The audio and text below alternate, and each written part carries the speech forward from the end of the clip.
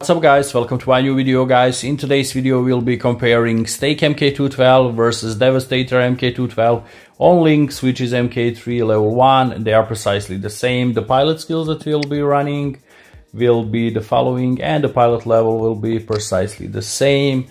So uh, regarding the modules that we'll be running on both Lynx, it will be these modules guys. So now before we jump into the video, if you like my content, please hit that subscribe button and hit that notification bell so you don't miss out on anything. And now let's jump into the comparison, guys.